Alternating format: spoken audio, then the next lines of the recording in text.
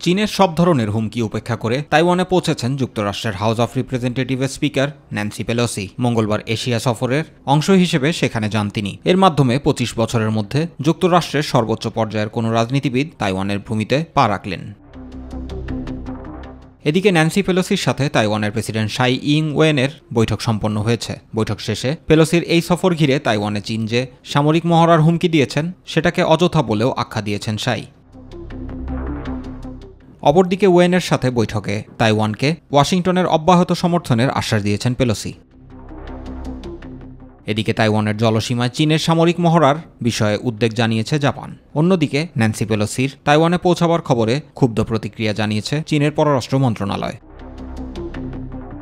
দেশটি জানায়, তাইওয়ান প্রণালী অঞ্চলে উত্তেজনা বাড়াতে যুক্তরাষ্ট্র ইচ্ছাকৃতভাবে এই উস্কানিমূলক পদক্ষেপ নিয়েছে। এর সম্পূর্ণ দায় দায়িত্ব দেশটিকে নিতে হবে।